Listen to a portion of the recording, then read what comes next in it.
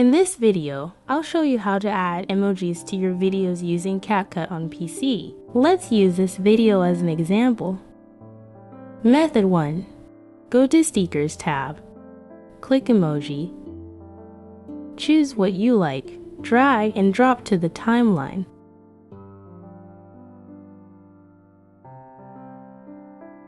Adjust position and size as needed.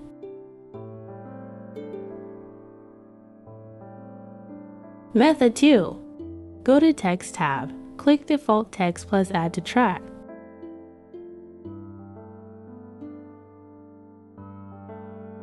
Delete default text. Then, access emojis by using your keyboard. Simply navigate to the emoji section on your keyboard and choose the one you want. Most emojis should work fine, although some may appear differently.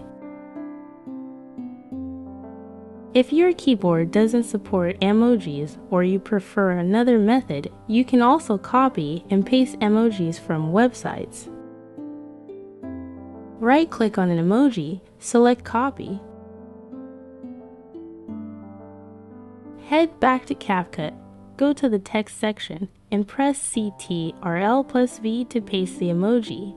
It's that simple. I hope this tutorial has been helpful for you.